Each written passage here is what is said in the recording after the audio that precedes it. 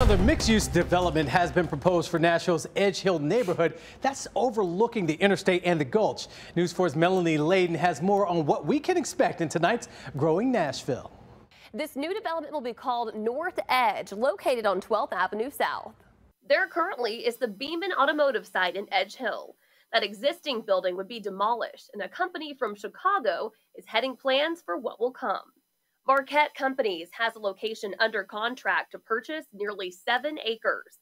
This project would include several buildings ranging from 5 to 12 stories, made up of residential space, retail space for shopping and dining, and a hotel with plans to build 500 rooms and 160,000 square feet of office space. Right now, it's just a proposal that's been sent to Metro Planning Commission with plans to move forward this summer. For Growing Nashville, I'm Melanie Layden.